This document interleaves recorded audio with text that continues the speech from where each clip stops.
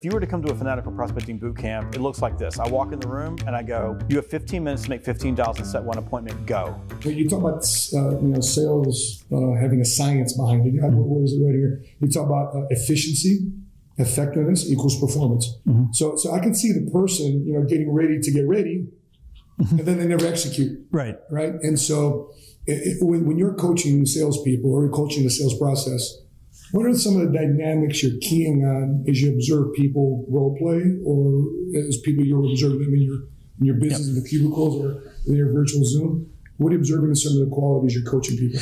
Well, I watch for you know. Um, um, first thing is, are you doing it or not doing it? Like you're planning to plan to plan to plan. Like are you rearranging your desk so that your pen is facing due north? Because we all know, like when your pen's facing due north, rejection sweeter. Like we know that. So are you planning to plan to plan? So, so when I'm coaching people, if you if you were to come to a fanatical prospecting boot camp, it looks like this. I walk in the room and I go, "You have 15 minutes to make 15 dollars and set one appointment. Go." People look at me. Like, think military, right? So, because I walk into battalions and do this in the military, and like usually there's a command sergeant major sitting next to me, he's so like, yeah. like, he's right behind me. So I'm like, I look real tough, but he's like push-ups if you don't do it. This, this guys. But what I do is I just I put people in a position where I've, I, do not allow them time to think. So I'll watch them and I'll, they'll look at me and I'll go, 15 minutes, $15, one appointment. Now, you'll notice it's all about what, how I say it. I'm confident. Like nobody go, like leaders will say, how do you get people to do that? I'm like, I'm Teflon. No, they can say anything. They'll go, oh, I don't really have my list. That's okay. Pick something in your phone. Sure. I, nobody's going to be calling. I mean, nobody's going to be at office right now. That's okay. We're going to do it anyway. So what happens is when they do it and they just call and they're terrible at it. But somebody gets an appointment. Three or four people get an appointment. They go, well, that wasn't that hard. I'm going to go, yeah, well, it wasn't hard. Well, we weren't thinking about it. You just made us do it. I go, great, right? So most of it was in your head. And then we picked up the phone and we called some strangers and it worked. So then I'll just teach people how to do this. So then I'll look for, are you hesitating, insecurity, um, you saw us on stage where you know it was just changing a little bit of the way that people you know approach mm-hmm. each other. So just something like you know um, how so, like a little question like that. How so? How come? Like how do you mean? Yeah. Little questions like that to get people to engage. So I'm coaching language. I'm coaching approach. Yeah. You just said I like the way you approached it. I, I'm I'm approaching. Are you relaxed? Are you assertive? Are you confident? Or do you look and come off as insecure? Are you are you talking about yourself? Are you having a conversation with them? I'm sorry, hit the mic there. Uh, are you talking about yourself? or Are you talking about them? So it's I'm I'm just I'm coaching the nuance. Yeah. So I teach frameworks. Here's how you make a prospecting call. Here's how you approach someone. Here's how you deal with an objection. I teach the framework, the set of rails, and then I coach the nuance. But first, I get out of the head right? Yeah. And get into action. Because yeah. because it didn't make a difference if we're thinking about it. If we're not doing, it doesn't make a difference. So we got to do first. It's funny because you know, uh, of course, you've seen the movie of you know Wolf of Wall Street. I mean, what salesperson has it, right? And the reason why he says I do the exercise is I want to know whether or not you're trying to pitch me or you're mm-hmm. asking me. Yes, that was the purpose of it.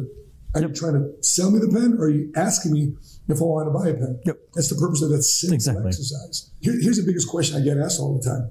Hey Matt, how do you, you know, what do you say when so and so? What do you say when so and so? What do You say so. They always ask me what I say, but I never get the question of what do I mm-hmm. ask?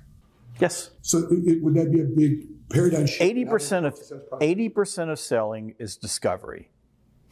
which is asking, right? 80% of sales, like this, you know, if you start thinking about what's, what's the sexy parts of sales are closing, getting past objections, and prospecting. That's what everybody wants to talk about. Sure. What nobody wants to talk about is what's most important, which is the middle part. Yeah. So in every sales conversation, the person that you're having that conversation with is asking five questions of you. Now, those questions are being asked at both the conscious and subconscious level. Sure. Do I like you? Yeah. Do you listen to me? Do you make me feel important? Do you get me in my problems? Do you understand me? And do I trust and believe you? Well, the easiest way to be likable is to shut up and listen. Like you don't have to worry about anything else. If you're listening to people, they love you. The easiest way, the way to make someone feel important is to listen to them. The easiest way to demonstrate that you get people is to talk about their reasons for buying life insurance, not your reasons, right? So, so if you were telling me your story, right, you communicate in stories. I go, tell me about your family. Tell me what's important to you. And you go, blah, blah, blah, blah. And I, and I, and I go, so what I think I hear you saying is that the most important thing for you in the entire world is that if something were to happen to you, that your wife and your young son would be taken care of and okay. Like you worry about that more than anything because of your job. Did I get that right? Yes. And you would say, yeah. And I would say, I totally get that. You know, when I was a young dad, you know, I, I, the thing that, that was I was most concerned about is that I would go on a trip and I wouldn't come back, and then you know what would happen to them, and you know I could see in my in my you know in my head what the future would look like without me, and um, and I that's one of the reasons why I stepped into a life insurance policy because it gave me some peace of mind that I I was stepping up to the plate as a man and doing the right thing for my family, and um, so tell me a little bit more about uh, about what you and your wife talk about when it comes to your financial future. So all I did was just take your story, right? I repeat it back to you in a way that says, "Hey, I get you." These are my words. Right, and and and at, the more that that I'm able to to demonstrate that I get you, the more likely you are to trust me, right? So because all, all all we're really doing is you're saying, "Hey, I trust and believe what you're saying to me, and this makes sense," right? So if it just makes sense, why wouldn't we go ahead and do it? And, and what most people are doing is, salespeople are doing, especially new people, you think that it's about the gift of gab. Like you think that it's about talking. It is not about talking. Nobody cares about what you have to say. They only care about what's important to them. And I want you to think about this for just a second when you start thinking about discovery and asking questions. Because you're exactly, nobody ever asked me, what do you ask? They always ask me what I say. And I'm like, you're asking the wrong question. Because it's not what I say, it's what I ask. Because anything that I say is a derivative of something that I've asked. So another way of looking at that is the question that you ask is more important than anything that you could say. And anything that you say is more powerful and impactful when delivered in the form of a question. So just think about that. So I want you to think about in your life, right? Um, is there someone that you would describe this way? This person totally gets me. Sure. Okay, who would that be? My wife. Okay, your wife. So your wife totally gets you. Now you think about the relationship you have with your wife, right? And I've met your wife, and she's lovely, right? She's wonderful. Um, and so, so like you and your wife probably have this like secret language, right? So yeah, and so you can look at each other and have a conversation. My wife and I have the same thing. You um like you nobody knows what you're thinking, but you you know what you're thinking. Like my I've been married for almost 30 years now. I can look at my wife and I know exactly what she's thinking from across the room. Uh, you you probably tell jokes that no one else gets but you. Of course. Yep, you laugh all the time. And and it's like it's this relationship where you just it just it's comfortable, like it feels right. Yeah. That's the most important relationship in your life. Get a person who gets me. It's, it's, it's more valuable than anything else that you have. Now, if you just think about sales for a second, do I like you? Do you listen to me? Do you make me feel, feel important? Do you get me in my problems so I trust and believe you? Demonstrating get, I get you, is the key to everything. Like it is the secret. It's called a bridge, right? So what all I'm doing is I'm connecting the dots between what's important to you and how I can solve that problem for you through insurance mm-hmm. using your language, not mine. Like I'm, I'm coming back to you. And I'm not talking about insurance. I'm talking about what's important to you. And, and I, what I'm doing in the process is I'm, I'm creating that same emotional bond. Now, it's not, it's not like being married to anybody. You're never really going to have that type of a bond with someone you're selling anything to. But the same emotions, the same psychology is there. And when people do that, and if you just think about stuff that you've bought, when you, when like the person demonstrated that they really got you, that was the moment where, eh, like, it just happened. Like everything flowed downhill from there. So what I'm doing in discovery, the questions I'm asking, right? I'm, I'm prospect to have the opportunity to do that.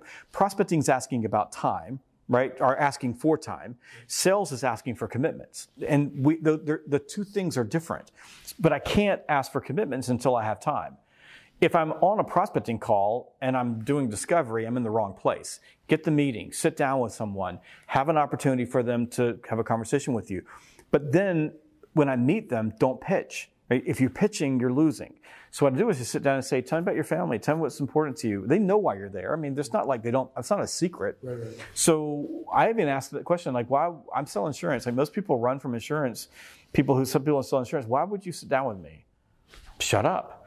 My goal in a conversation is to ask. It will become an objection before it even comes. exactly. Well, It's a 600 pound gorilla. Yeah. Before you get into why would you meet with me? Yeah. Well, I've been thinking about this. You know, I've been doing this, or you know, my, my mom and dad, you know, died recently, or this happened, this mm-hmm. happened, this happened, and then and then all I'm doing is allowing you to talk. My goal in any conversation is to ask as few questions as possible to create as much information as possible. And what I'm doing is, as I ask questions and get people to begin telling their stories, I reward the story by listening to them, like by leaning into it, by paying attention to it, by repeating what they're saying to me. And by doing that, I trigger something called the self-disclosure loop. And the self-disclosure loop is um, just the way the brain works. It's a neurophysical response to a person basically revealing pieces about themselves.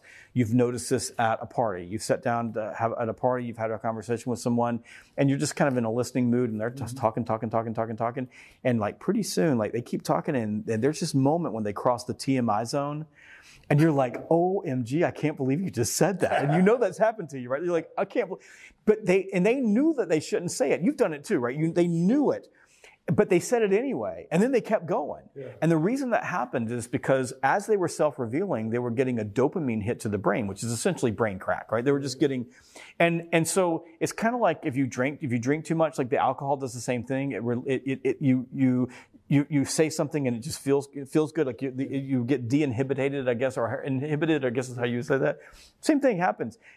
You get a little brain, brain crack a little dopamine hit you keep talking keep talking keep talking. Well if you just let people do that like if you stay out of the get way right stop pitching don't ask closing questions you know reward them for talking with you. They'll tell you their entire story. They'll give you everything and then all you have to do, this is how you, you, you demonstrate you get, to, all you have to do is just build a bridge. Hmm. You say, I totally get it. You know, your, your, you know, your, your, your term insurance policy that you've had for 20 years is running out. You don't know exactly what to do. And you, you and your wife are a little bit nervous because you've got, you know, another, you know, 25 years left mm-hmm. and you're not quite sure what's going to happen. And, uh, and if I were in your shoes, I'd probably feel the same way. And that's really what I want to do today is just explore how we might be able to fill that gap and give you guys the peace of mind that you're looking for and stay within your budget.